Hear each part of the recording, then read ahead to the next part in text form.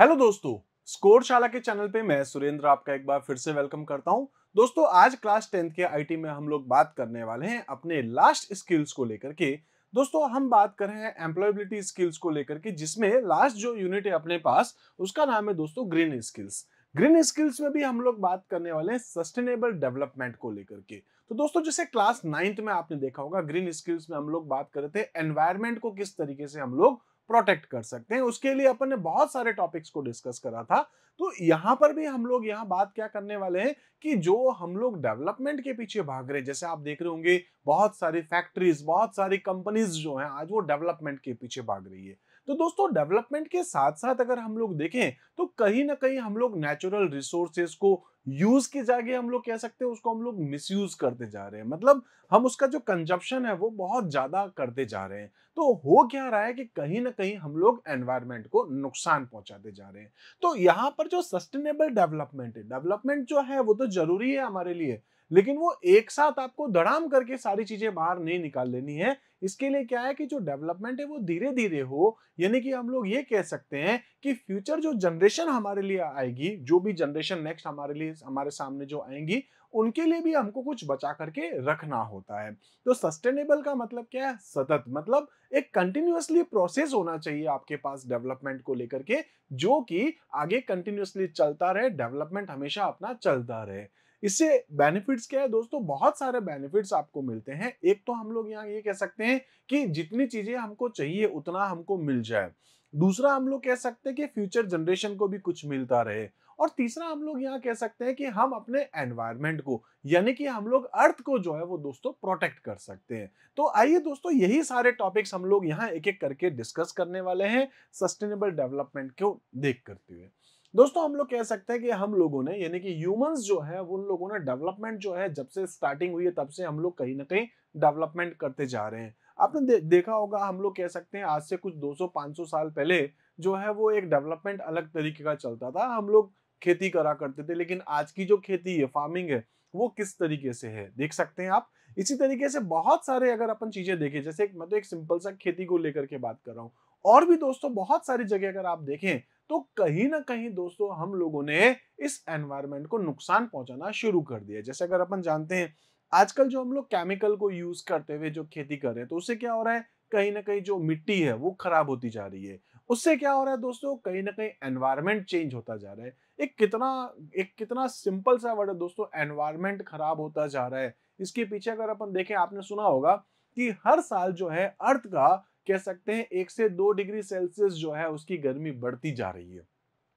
Glacier melt होना बहुत common है। दोस्तों, मैं अगर आपको बात करूँ, अभी जब मैं रिकॉर्डिंग कर रहा हूँ उससे कुछ दिनों पहले की बात बता रहा हूँ। आपने सुना होगा, ग्लेशियर जो है वो फट गया, ग्लेशियर मेल्ट हो गया बहुत स्पीड से। जो अभी आप लोगों ने देखा होगा जैसे हिमाचल और उत्तराखंड की बात करो हिमाचल में बादल फट गया, उसकी बाढ़ आ गई और उत्तराखंड में आपने देखा होगा, एक पूरा ग्लेशियर ही टूट के गिर गया तो उससे भी एक बहुत बड़े लेवल पे नुकसान पहुँचा है। हम लोग जानते हैं दोस्तों, ग्लेशियर धीरे धीरे मेल्ट होते जा रहे हैं, ठीक है? इससे क्या हो रहा है? सी लेवल बढ़ता जा रहा है। सी लेवल बढ़ता जा रहा है तो कहीं ना कहीं उसके आसपास जहाँ उसके बॉर्डर पे जो लोग हैं, उनका रहना थोड़ा मुश्किल हो सकता है और आगे आने वाले टाइम पे भी हो गई। इसके अलावा अगर अपन कह सकते हो तो आप देख रहे हो कि मौसम सारे एकदम बदलते जा रहे हैं। जैसे गर्मी थोड़े टाइम पहले आ जाती है, बारिश कुछ टाइम पहले आ जाती है, सर्दियाँ उसका कुछ टाइमिंग अब फिक्स नहीं देख रहे होंगे। इसी तरीके से बहुत सारे एग्जाम्पल्स मैं आपके सामने ला करके रख सकता हूँ। ये मौसम चेंज होना भी कह सकते हैं। ये भी क्या है आपके पास में कि जो क्लाइमेट चेंज हो रहा है, उसके बेस पर ही अपन इसको देख रहे हैं। इसी टाइप से ये भी कह सकते हैं, कहीं पर दोस्तों बारिश बहुत ज़्यादा हुआ करती थी, वहाँ कम हो रही है। जहाँ बिल्कुल नहीं होती थी, वहाँ पर आजकल बारिश ज़्यादा होने लग चुकी है। तो ये सारे के सारे जो रीजन है, वो कहीं ना कहीं क्या है कि एनवायरमेंट बदलता जा रहा है क्लाइमेट चेंज होता जा रहा है। रीजन क्या है दोस्तों? हम लोग जो डेवलपमेंट कर रहे हैं, वो बहुत ज़्यादा कर रहे हैं। हालाँकि आज के टाइम पे मैं आपसे ये भी कह सकता हूँ कि यूनाइटेड नेशंस के बेस पर भी अगर अपन बात करें वर्ल्ड लेवल पर भी अगर अपन बात करें इंडिया लेवल पर भी बात करें या एक आम आदमी भी जो है वो दोस्तों एनवायरनमेंट को प्रोटेक्ट करने की बहुत कोशिश कर रहा है। इनफैक्ट आप लोगों ने भी दोस्तों बहुत सारे पेड़ पौधे लगाए होंगे।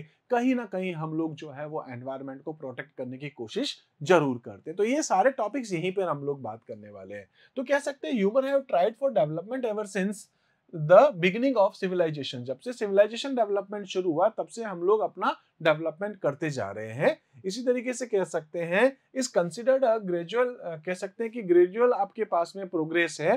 For improvement in the economic हमारा इकोनॉमिक इम्प्रूवमेंट हो रहा है, हमारा सोशल इम्प्रूवमेंट हो रहा है, हमारा पॉलिटिकल इम्प्रूवमेंट हो रहा है और साथ में हमारा कल्चर सिस्टम जो है, वो कल्चरल जो आपके पास में सिस्टम है, वो भी आपका डेवलप होता जा रहा है। तो हम कह सकते हैं however the impact of this development on the environment and the natural resources what not consider ठीक है? तो जो हमारा डेवलपमेंट हो रहा है, हमारे डेवलपमेंट अगर स्टार्टिंग से बात करें तो वैसे तो हम लोगों ने इस बारे में कभी सोचा ही नहीं, क्योंकि हमको लगता ही नहीं था ऐसा कभी होगा। तो हम लोगों ने नेचुरल रिसोर्सेज के बारे में कभी कंसिडर किया ही नहीं। आप देखते होंगे दोस्तों मतलब मैंने कई जगह देखा है, अगर आप देखें तो हम लोग क्या करें दोस्तों, पहाड़ के पहाड़ गायब कर रहे हैं आजकल के टाइम पे, है ना? डेवलपमेंट के नाम पे एक पहाड़ पूरा खत्म, इसके साथ साथ देख सकते हैं तो पहाड़ों के नीचे तक मतलब खुदाई इतनी है कि सुरंग बन चुकी है आजकल अपन देख सकते हैं।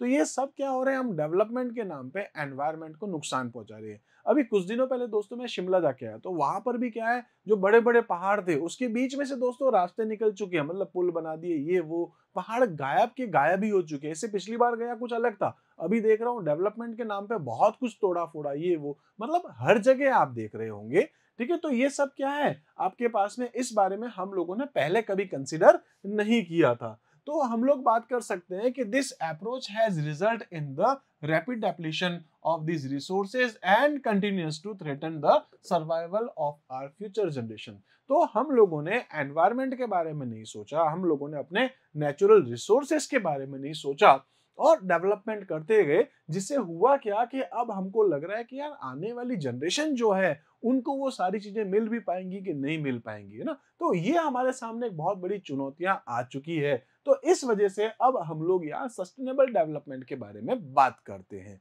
चलिए तो हम लोग सबसे पहले बात करते हैं इवोल्यूशन ऑफ़ सस्टेनेबल डेवलपमेंट इसका इवोल्यूशन कैसे हुआ है? तो अपन कह सकते हैं the concept of sustainable development received in first major international recognition in 1972 तो दोस्तों मैं कह सकता हूँ 1972 जो है, वो पहली बार बात की गई थी कि हम लोगों को एक डेवलपमेंट करना है, लेकिन एक सस्टेनेबल होना चाहिए, एक लिमिट में डेवलपमेंट होना चाहिए, जो कंटिन्यूसली होना चाहिए।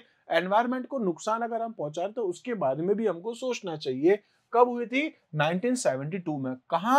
UN conference on the human environment इसको अपन बोल सकते हैं UNCHE UN conference on the human environment तो जो स्वीडन के अंदर स्टॉकहोम के अंदर एक आ, कह सकते हैं कि इंटरनेशनल लेवल पर पे जो कि 1972 में था वहाँ पर एक कॉन्फ्रेंस थी एक मीटिंग थी UN conference on the human environment तो ह्यूमन और एनवायरनमेंट इन दोनों के लिए यहाँ पर जो कमेटी है वो एक डिस्कस करी थी और यहाँ पर डायरेक्ट वर्ड तो यूज़ नहीं किया एक्सप्लिसिटली तो यूज़ नहीं किया but the international community agreed that both development भी होना चाहिए दोस्तों, ये तो ज़रूरी है क्योंकि इसके बिना अब काम चलना नहीं है।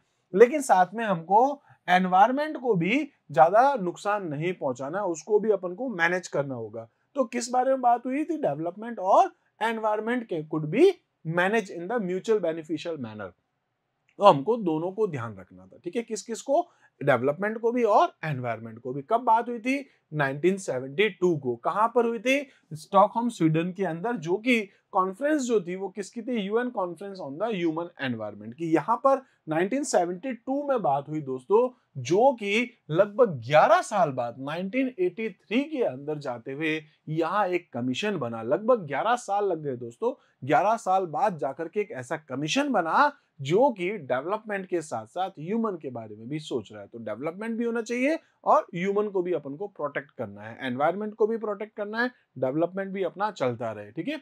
तो इन 1983 से पहले 1972 में अपन ने बात करी थी कि डिस्कस हुआ था कि कहीं ना कहीं अपन को दोनों को मैनेज करना होगा। लेकिन 83 the United Nation created the world commission on environment and development मतलब कह सकते हैं कि एक कमीशन बना, जिसका क्या नाम रखा? The world commission on environment and development यानी कि किस किस का डेवलपमेंट होगा? एनवायरमेंट का डेवलपमेंट है है ना? एनवायरमेंट एंड डेवलपमेंट इन दोनों के बारे में अपन को बात करनी होगी। Which was later known as Brundtland commission क्या नाम रखा दोस्तों इसका? बाद में इसको जो है ब्रंटलैंड कमीशन भी कहते थे। ब्रंटलैंड कमीशन क्यों कहते थे? आप देख सकते हैं यहाँ पर ये जो मैम है, इनका नाम जो था अपने पास में वो था हरलेम ब्रंटलैंड ठीक है? जो नॉर्वे की, यानी कि इनका जो नाम है, ठीक है? ये क्या है? ग्रो हरलेम ब्रंटलैंड है, जो कि दोस्तों नॉर्वे की प्राइम मिनिस्टर हुआ करते थे। उस टाइम पर जो इस जो अपन जो कमीशन की बात करें, इसके क्या थे? चेयरपर्सन थे, या कह सकते हैं कि ये जो कमीशन बनी इसके चेयरपर्सन थे और इनके नाम पे इस कमीशन को भी क्या बोला जाने लग गया? ब्रंटलैंड कमीशन एग्ज़ाम में क्वेश्चन आते हैं दोस्तों the world commission on environment and development जो है, इसका एक और अल्टरनेट नाम क्या है? वो नाम है ब्रंटलैंड कमीशन इस चीज़ को याद रखिएगा, ठीक है? तो अपने बुक में है, इसलिए अपन इसको थोड़ा डिस्कस करें। इमेज के साथ मैंने आपको बता दिया है।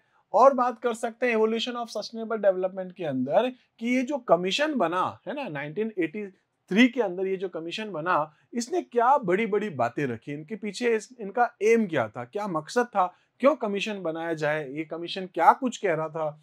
द ऑर्गेनाइजेशन एम्ड वॉज़ क्या था? एक तो आपको आइडेंटिफाई करना है। क्या आइडेंटिफाई करना है? कि वर्ल्ड वाइड सस्टेनेबिलिटी प्रॉब्लम्स क्या क्या आ रही है?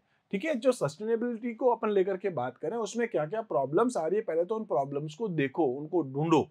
ठीक है? किस तरीके से हम लोग एनवायरमेंट को प्रोटेक्ट कर सकते हैं, साथ में अपन को डेवलपमेंट जो है वो सस्टेनेबल होना चाहिए। तो उसमें क्या क्या प्रॉब्लम सारी दुनिया भर में पहले तो अपन को उसको आइडेंटिफाई करना है और उसके बाद अपन को क्या करना है, लोगों को अवेयर करना है इसके बारे में कि अगर आप ऐसा करेंगे तो एनवायरमेंट को नुकसान पहुँचा रहे हैं, इस, ऐसा करेंगे तो हमारे आगे आने वाली जनरेशन के सामने प्रॉब्लम्स आ जाएँगी। तो ये क्या है, आप लोगों को अवेयर भी कर रहे हो और साथ में वो जो प्रॉब्लम्स आई है उन प्रॉब्लम के लिए उसका सॉल्यूशन क्या है, उसको भी सजेस्ट कर सकते हैं आप ग्लोबल लेवल पे। तो ये क्या कर रही है, ये जो कमीशन बना है, वो एक तो पहले तो प्रॉब्लम्स को ढूंढता है, वो प्रॉब्लम आई है तो लोगों को अवेयर भी करता है कि भाई ये प्रॉब्लम के सामने ये इश्यूज़ होंगे और उन प्रॉब्लम का सॉल्यूशन क्या है, वो साथ में सॉल्यूशंस भी बताएगा, ये कमीशन ठीक है? तो ये, इसके थे मेन तीन एम थे। इसी टाइप से अपन कह सकते हैं, क्योंकि 1972 में एक बार बात हुई थी 83 में कमीशन बन गया। अब दोस्तों, इसने 83 के बाद 87 लगभग चार साल बाद, ठीक है, क्या करा? इन्होंने एक रिपोर्ट बनाई और रिपोर्ट का नाम रखा था आर कॉमन फ्यूचर मतलब दुनिया भर में जो भी प्रॉब्लम्स है, उनको ढूंढे और प्रॉब्लम्स ढूँढने के बाद क्या करें? वो लोगों को अवेयर करें और साथ में ये जो प्रॉब्लम्स आई है, इसका सजेशन जो अपने पास क्या हो सकता है, सजेस्ट भी करे, ठीक है? तो ये सारे जो काम थे, ये सारे काम फाइनली इन्होंने चार साल देखे और चार साल के बाद इन्होंने क्या करा? अपनी एक रिपोर्ट बनाई और इस रिपोर्ट का नाम क्या रखा था? आर कॉमन फ्यूचर आप देख सकते हैं, एक एक बुक का नाम है अपने पास आर कॉमन फ्यूचर जो क्या कहता है, इसको अपन कह सकते हैं कि ये जो ब्रंटलैंड कमीशन था, ठीक है, in 1987 the Brundtland commission release the report our common future commonly called the Brundtland report क्योंकि ब्रंटलैंड कमीशन था ब्रंटलैंड कमीशन ने जो रिपोर्ट दी, उसका नाम भी क्या था ब्रंटलैंड रिपोर्ट भी कहा जाता था। तो आर कॉमन फ्यूचर को अपन किस नाम से जान सकते हैं दोस्तों? ब्रंटलैंड रिपोर्ट के नाम से। इसमें कहा कहा क्या गया था? इसने क्या बोला? ब्रेंटलैंड रिपोर्ट ने ये बताया कि हम लोग एनवायरनमेंट को किस तरीके से समझते हैं, सस्टेनेबल डेवलपमेंट को किस तरीके से समझते हैं, कह सकते हैं कि अपने पास ट्रेडिशनली अपन किस तरीके से एनवायरनमेंट को देखते हैं, वो सारी बातें यहाँ बताई गई थी और साथ में इसने डिफाइन किया सस्टेनेबल डेवलपमेंट वर्ड को भी। तो क्या कहा? इसने कहा, sustainable development is development that meets the need of the present without compromising the ability of future generation. मतलब भविष्य में जो लोग होंगे, भविष्य की जो जनरेशन है फ्यूचर जनरेशन जो अपने पास है, उनके लिए भी अपन को ध्यान रखना है। वहाँ अपन को कोई कॉम्प्रोमाइज नहीं करना है और साथ में आज की जो हमारी जरूरतें हैं, वो भी पूरी हो। हमारी आज की जरूरतें भी पूरी हो जाए और ऐसा नहीं हो कि उसके चक्कर में फ्यूचर जनरेशन को कुछ मिले ही नहीं। तो उसको भी ध्यान रखना है और आज की ज़रूरत को भी पूरा करना यही सस्टेनेबल डेवलपमेंट है। क्या बोल रहा है? The need of the present without compromising the ability of future generation to meet their own need और साथ में दोस्तों, इसने क्या करा? दो की कॉन्सेप्ट्स दिए थे। सस्टेनेबल डेवलपमेंट के दो की कॉन्सेप्ट्स बताए हैं। वो कौन कौन से की कॉन्सेप्ट्स हैं? पहला तो ये है आपके पास में नीड्स नीड्स का मतलब क्या हो गया? कि दुनिया में ऐसे बहुत सारे लोग हैं जिनको आज जिन चीज़ों की ज़रूरत है, वो बहुत ज़्यादा ज़रूरत है। जैसे अगर मैं बात करता हूँ खाने पीने को लेकर के, आज बहुत सारे लोग हो सकता है ऐसे हो जिनके पास खाने को कुछ नहीं हो। तो दोस्तों, हमको क्या करना चाहिए? पहले उन लोगों तक खाना पहुंचाना चाहिए जिनको उनकी ज़्यादा ज़रूरत हो। इसी टाइप से एजुकेशन जिन लोगों के पास एजुकेशन नहीं है, उन लोगों तक एजुकेशन पहुंचानी चाहिए। जिन लोगों के पास एनर्जी एनर्जी मतलब आप यहाँ पर जो इलेक्ट्रिसिटी और ऐसी कोई भी टाइप की एनर्जी ले सकते हैं रिसोर्सेज कह सकते हैं जो नहीं है, वो पहले उन तक पहुँचाया जाए, जिससे कि वो एटलीस्ट अभी सरवाइव कर सके। ठीक है?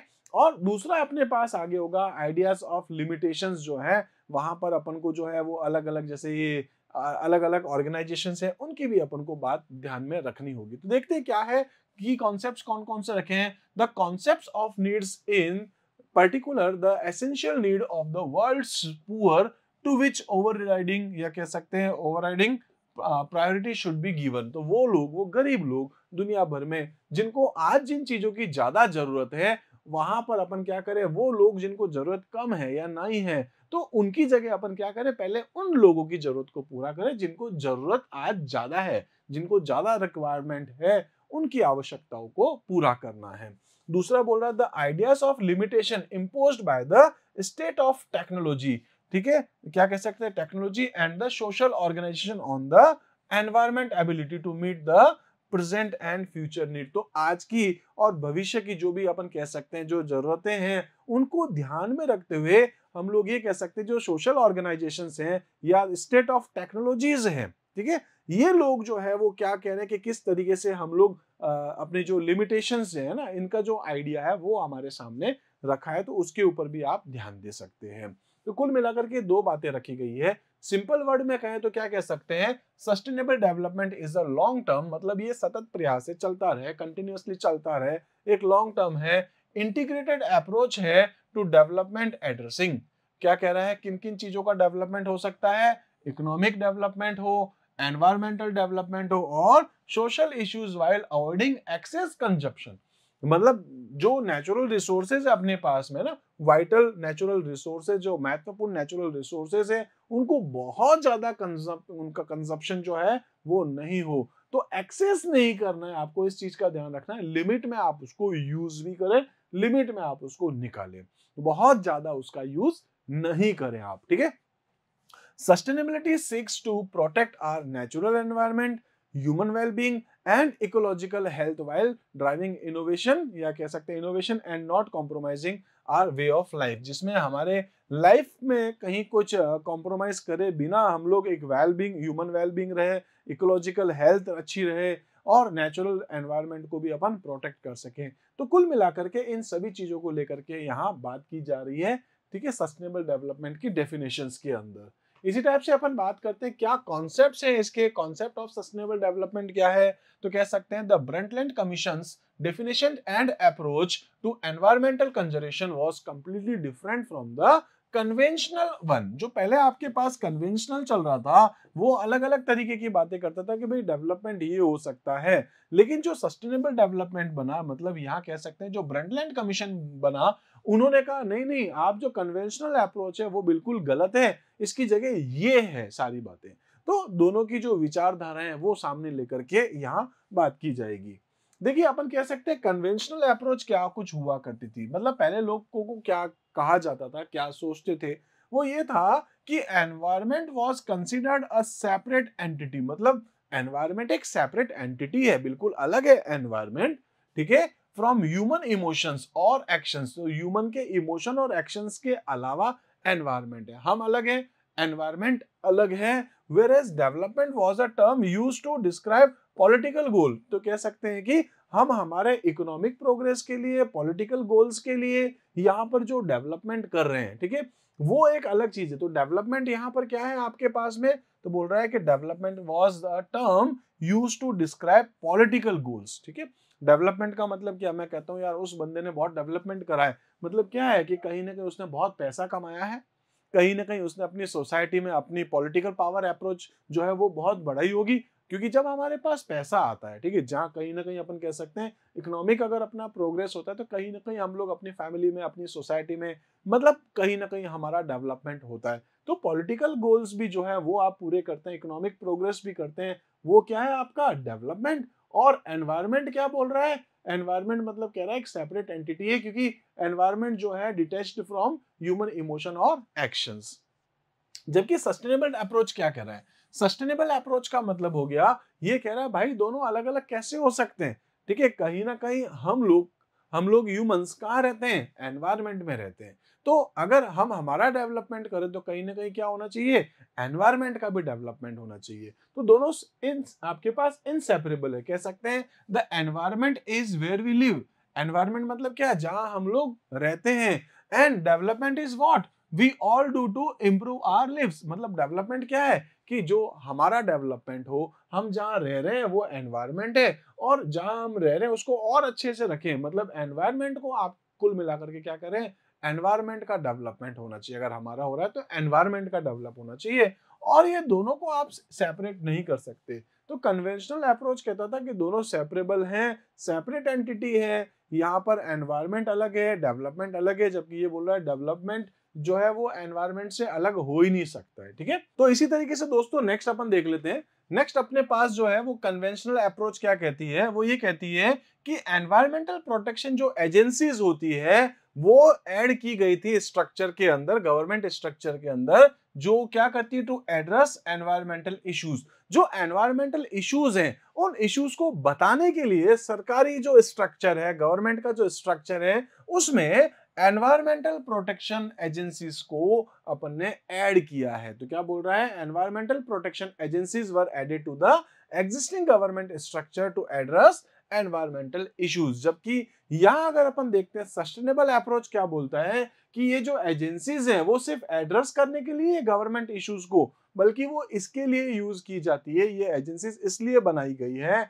जो कि ये बता सके कि ये जो एनवायरमेंटल रिसोर्सेज हैं, उसको अपन मेंटेन करेंगे या अपन साथ में प्रोटेक्ट करेंगे या अपन इनका संरक्षण करेंगे। तो मेंटेन करना है प्रोटेक्शन करना है या कह सकते हैं डिग्रेड करना है ये सारे के सारे जो काम है, वो कौन करता है? Government agencies. तो यहाँ पर अपन बात करते हैं कि जो गवर्नमेंट एजेंसीज हैं एंड जो मेजर डिपार्टमेंट है, जो भी गवर्नमेंट के साथ तो government agencies and major departments play key role in the national decision making मतलब जो किसी भी देश के लिए जो अपने डिसीज़न हैं, उनको लेने के लिए जो मेजर डिपार्टमेंट और गवर्नमेंट एजेंसी से ये बहुत ज़्यादा इंपॉर्टेंट होती है। ये एक बहुत इंपॉर्टेंट रोल प्ले करता है।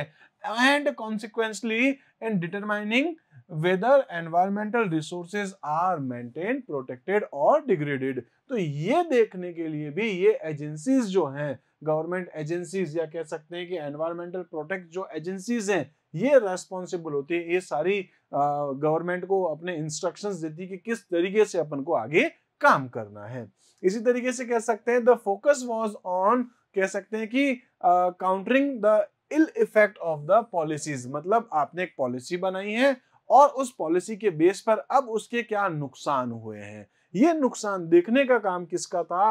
अपने कन्वेंशनल अप्रोच कहता था कि ये जो एजेंसीज हैं, या कह सकते हैं the focus was on countering the ill effect of the policies which cause environmental degradation तो कह सकते हैं कि एनवायरमेंट को नुकसान पहुँचने के लिए अभी ये जो अपने जो भी रूल्स बने हैं फाइनली उसके बाद क्या होगा? जो ये पॉलिसीज़ बनी है, उन पॉलिसीज़ का क्या इफ़ेक्ट हो रहा है?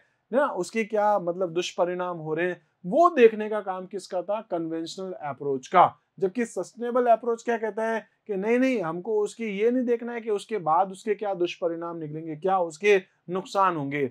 हम पहले से ऐसी पॉलिसीज़ बनाए जिससे कि नुकसान हो ही नहीं।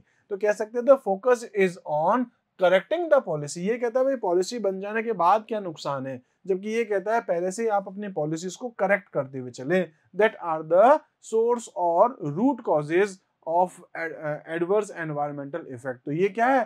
प्रिवेंशन का काम करे जबकि ये क्या करता था? क्योर करने का काम करता था। तो दोनों में बहुत डिफरेंसेस हैं। इसी तरीके से अपन ने पहले भी देखा था, ये भी कुछ डिफरेंसेस थे आपके पास एनवायरमेंटल के साथ में।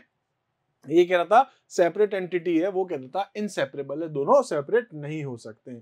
तो दोस्तों ये अपने पास में जो थे कुछ आ, कह सकते हैं कॉन्सेप्ट थे। अभी अपन बात करते हैं प्रिंसिपल्स क्या है सस्टेनेबल डेवलपमेंट को लेकर के। तो क्या क्या प्रिंसिपल्स हैं अपन ये देख सकते हैं। The principles of sustainable development are based on the integration of environmental social and economic concern. Into all aspects of decision making. तो ये इन सभी पॉइंट्स को लेते हुए ध्यान में रखता है। ये कहता है कि आपके पास जो प्रिंसिपल्स हैं, है ना सस्टेनेबल डेवलपमेंट को, वो किसके बेस पर है? वो बेस पर है आपके पास एनवायरमेंटल इंटीग्रेशन को लेकर के सोशल और इकोनॉमिक जो आपके डेवलपमेंट है तो उसको भी ये कंसर्न करता है। ठीक है? तो देखते हैं, सबसे पहले क्या बोला? Living with the environmental limits एक तो क्या है कि आपको एनवायरमेंटल लिमिट्स के साथ आपको रहना है। मतलब यहाँ अपन ये कह सकते हैं कि जो आप जैसे जो नेचुरल रिसोर्सेज हैं, आप उनको यूज़ करें, लेकिन बहुत ज़्यादा उनका नुकसान नहीं हो। साथ में यहाँ अपन ये भी कह सकते हैं कि जो लिमिट्स के साथ अपन को, है ना एनवायरमेंटल लिमिट्स जो है, उसके साथ अपन इसको देखें, ठीक है? उसके बाद कह सकते हैं आपके पास अचीविंग अ सस्टेनेबल इकोनॉमी तो सस्टेनेबल इकोनॉमी देखें, क्योंकि जो डेवलपमेंट आप करें तो ऑब्वियसली आपकी इकोनॉमी भी डेवलप हो रही होगी, लेकिन वो एक सस्टेनेबल आपकी होनी चाहिए।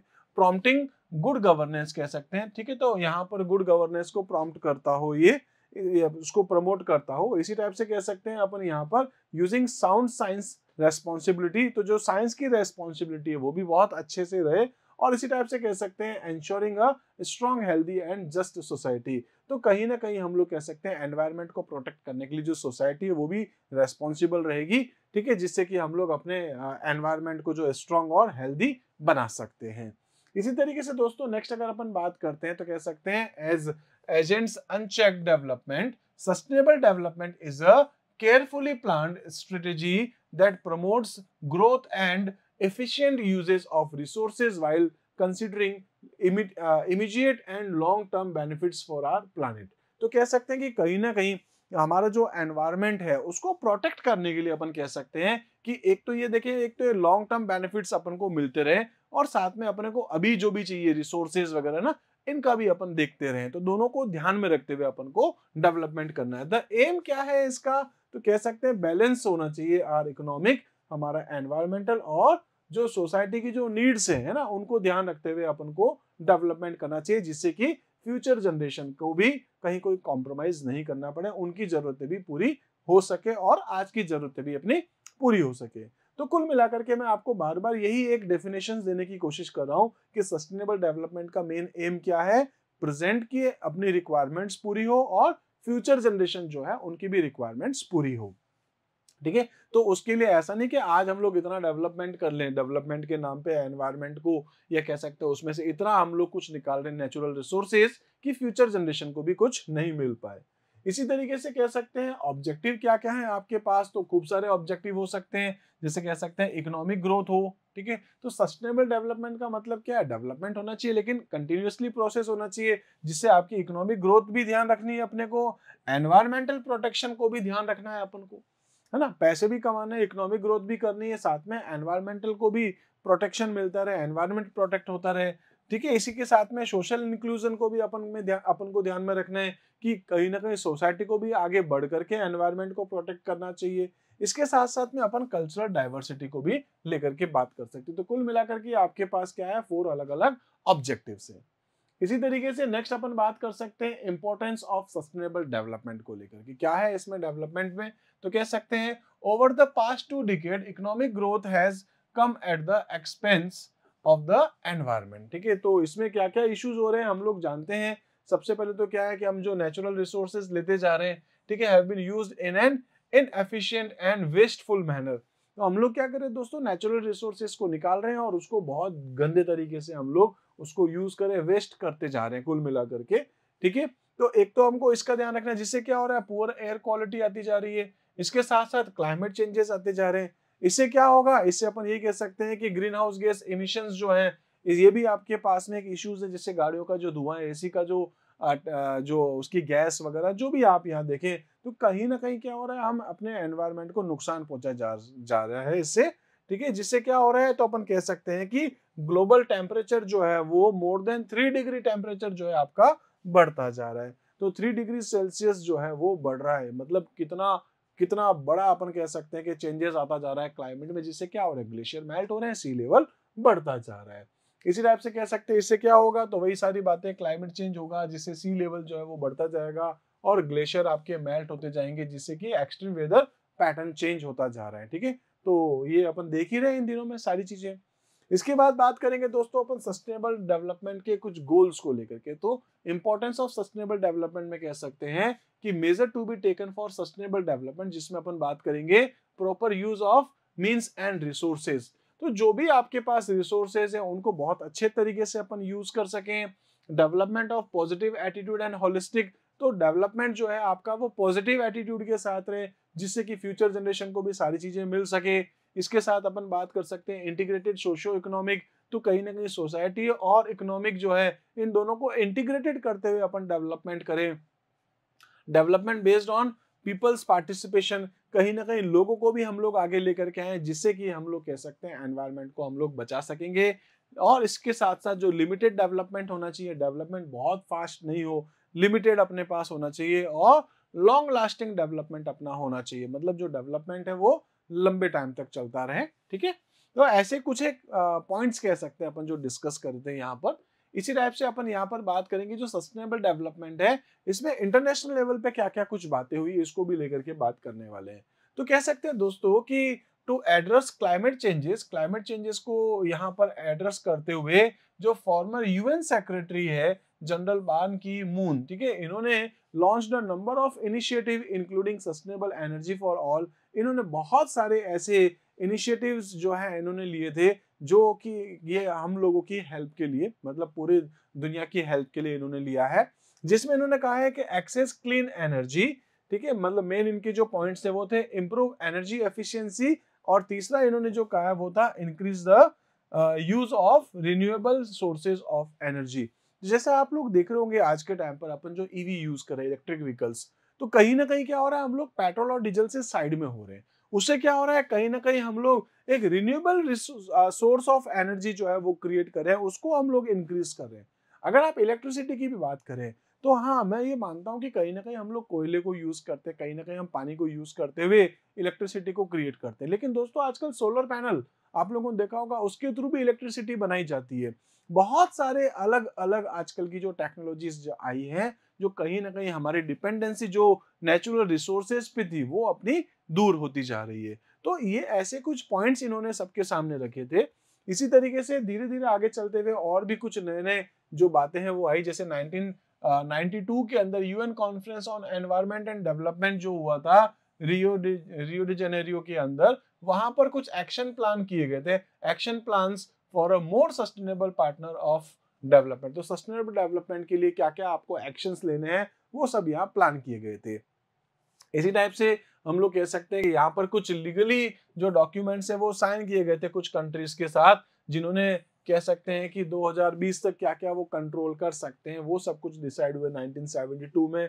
2015 में तो दोस्तों हम लोग कह सकते हैं कि यहाँ पर कुछ जो है वो आ, हम लोगों ने डिसाइड किए थे कि एक तो क्लाइमेट को किस तरीके से प्रोटेक्ट कर सकते हैं ये भी और साथ में हम लोगों ने जो है आ, कुछ सस्टेनेबल डेवलपमेंट गोल्स भी बनाए। तो देखते हैं ये यूएन फ्रेमवर्क कह सकते हैं convention on climate changes a new universal climate change agreed in Paris to temperature rise below two degree Celsius. जो दो डिग्री सेल्सियस बढ़ रहा था आपके पास तो उसको ध्यान में रखते हुए इन लोगों ने यहाँ पर कुछ जो है वो आ, कह सकते हैं कि कुछ डिसाइड किया कि क्या क्या हमको काम करना चाहिए। इसी टाइप से 2015 के बाद 2016 में भी हम लोग पहुँचे। ठीक है तो यहाँ पर हम लोग कह सकते हैं कि कुछ एजेंडा डिसाइड किया गया था, जो कि 2030 को ध्यान में रखते हुए कुछ सस्टेनेबल डेवलपमेंट गोल्स बनाए गए थे। टोटल 17 गोल्स बनाए गए थे, जो हम लोग 2030 तक पूरा करना चाह रहे हैं। ठीक है तो लगभग 2030 तक हमको कुछ गोल्स अचीव करने हैं, जो यहाँ सस्टेनेबल डेवलपमेंट गोल के अंदर रखा गया था, जिसमें कुछ एग्जाम्पल्स हैं, जैसे क्लीन एनर्जी हो सकता है क्लीन वाटर हो सकता है इक्विटी, जेंडर हो सकता है आपके पास में। क्वालिटी एजुकेशन है, गुड हेल्थ है, ज़ीरो हंगर है, नो पॉवर्टी है। ऐसे कुल मिलाकर के दोस्तों, सेवनटीन, सत्रह गोल डिसाइड किए गए थे, जो क्या है, सस्टेनेबल डेवलपमेंट गोल। ठीक है? इसी टाइप से नेक्स्ट अगर अपन देखें, यहाँ पर अपने पास आता है सस्टेनेबल डेवलपमेंट गोल्स क्या थे तो कुल मिलाकर दोस्तों 17 आपके पास ग्लोबल गोल्स थे, जो यूनाइटेड नेशन ने डिसाइड किए थे, जो 2015 में बने थे और जिसको 2030 तक लगभग पूरा करना था।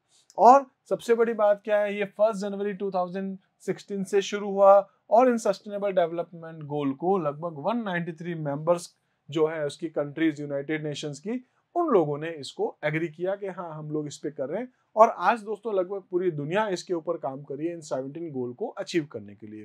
हालाँकि ये गोल जो है वो 2030 तक अचीव करना थोड़ा हमारे लिए मुश्किल रह सकता है रीजन यही है कि बहुत सारे इसमें इश्यूज़ भी आ रहे हैं। कुछ फाइनेंशियल इश्यूज़ भी हो सकते हैं, कुछ टेक्निकल इश्यूज़ भी हो सकते हैं। लाइक like ये भी कह सकते जैसे कोविड सिचुएशन अभी निकली है तो बहुत सारा पैसा दुनिया भर का इधर उधर हो चुका है। बहुत सारी कंट्री आज दोस्तों जहाँ कह सकते हैं, जिनकी इकोनॉमी बहुत बुरी तरीके से खराब हो चुकी है तो वो कहीं ना कहीं इन ग्लो इन जो ये ग्लोबल गोल्स जो रखे गए सेवनटीन जो कि हम लोग एस कह सकते हैं सस्टेनेबल डेवलपमेंट गोल इनको अचीव करना थोड़ा मुश्किल अभी हो सकता है। इसके एम क्या थे? तो वही मैं कह रहा था, ये जो चैलेंजेस रखे गए थे ग्लोबल चैलेंजेस हैं, जैसे कि पॉवर्टी इक्वलिटी है, या क्लाइमेट चेंजेस है एनवायरमेंटल अपने पास डिग्रेडेशन कह सकते हैं प्रॉस्पेरिटी है पीस है जस्टिस है, इन सभी पॉइंट्स को ध्यान में रखते हुए यहाँ पर ये सेवनटीन गोल्स बनाए गए थे। इसी तरीके से कह सकते हैं, अपन यहाँ पर फिर से वही है, आपके पास के इकोनॉमिक ग्रोथ के साथ address social needs like education health ठीक है सोशल प्रोटेक्शन जॉब अपॉर्चुनिटीज़ इन सब का भी अपन ने ध्यान रखा है। क्लाइमेट चेंजेस एनवायरमेंट प्रोटेक्शन इन सभी चीज़ों को ध्यान में रखते हुए हम आगे बढ़े हैं। इसी तरीके से कह सकते हैं over the next 15 years country will mobilized if efforts to the end all forms of poverty मतलब ऐसा कहा गया है 2016 से शुरू करके 2030 तक हम ये सब अचीव कर लेंगे, लेकिन दोस्तों इसमें कहीं ना कहीं इनको अचीव करने में कुछ इश्यूज़ ज़रूर आएँगे। तो देखते हैं नेक्स्ट अपने पास क्या है सस्टेनेबल डेवलपमेंट में चैलेंजेस क्या आ रहे हैं सबसे पहले तो वही है, जैसा मैं आपसे भी कह रहा था फाइनेंशियल रिसोर्सेज की कमी है, पैसों की कमी है। खूब सारी कंट्रीज़ ऐसी है जहाँ अभी कुछ क्राइसिस है इकोनॉमिक क्राइसिस चल रहे तो वो लोग इतना नहीं कर पाएँगे। इसी तरीके से कह सकते हैं कि बहुत सारी डिफिकल्टीज हो सकती है कुछ कंट्रीज़ के अंदर, जहाँ पर कुछ एक्सट्रीम चैलेंजेस चल रहे हैं, जहाँ लोगों के पास खाने पीने तक का कुछ नहीं चल रहा हो, वहाँ दोस्तों सस्टेनेबल डेवलपमेंट गोल की बात करना बेमानी हो सकता है। इसी तरीके से अपन कह सकते हैं, और क्या क्या हो सकता है? तो कह सकते हैं at times there is a conflict between ठीक है तो immediate profits and investment toward sustainable technologies तो यहाँ पर आपके पास ये भी एक चैलेंज है कि आपको आज सारी चीज़ें चाहिए, लेकिन ये पॉसिबल नहीं है, ठीक है तो बहुत सारे ऐसे आपके पास इश्यूज़ हो सकते हैं। इसी टाइप से कह सकते हैं करप्शन हो सकता है तो करप्शन भी एक बहुत बड़ा इशू है, ठीक है, जिसकी वजह से हम लोग मतलब कह सकते हैं गवर्नमेंट पैसा भेज भी रही है, लेकिन लास्ट लेवल पे जाकर के देखे तो पूरा काम नहीं हो पा रहा तो ऐसे बहुत सारे इश्यूज़ हो सकते हैं। ठीक है, और क्या कह सकते हैं लेक ऑफ़ एफर्ट्स एफर्ट्स नहीं लग रहे लोकल गवर्नमेंट की तरफ़ से, ये भी हो सकता है। जैसे मान के चलते हैं इंडिया में तो सेंट्रल गवर्नमेंट पैसा मानो भेज रही है तो स्टेट लेवल पे काम नहीं है। स्टेट लेवल से पैसा जा रहा है तो आपकी जो नगर निगम म्यूनसिपल कॉरपोरेशन जो भी है, उस लेवल पे काम नहीं हो रहा। वहाँ से भी पैसा जा रहा है तो पार्षद वगैरह वो लोग जो है, वो मिलकर के काम नहीं कर पा रहे तो बहुत सारे सपोज़ ऐसे आपके पास में कुछ लोकल गवर्नमेंट की तरफ़ से आपके पास एफर्ट्स लगाने की कुछ कमी हो सकती है और भी ऐसे बहुत सारे आपके पास चैलेंजेस हो सकते हैं, ठीक है, जो कि यहाँ डेवलप इसमें जो है एसडीजी को पूरा करने के लिए मुश्किल हो सकता है सस्टेनेबल डेवलपमेंट के लिए। इसी तरीके से दोस्तों, आज ऑलमोस्ट जो टॉपिक्स थे वो अपन ने डिस्कस कर लिए। इस चैप्टर से रिलेटेड आई होप दोस्तों सारे टॉपिक आपको अच्छे से समझ में आए होंगे। तो आज दोस्तों इतना ही करते हैं। मिलते हैं अपने अगले वीडियो में। तब तक के लिए आप मेरे साथ जुड़े रहिए। Thank you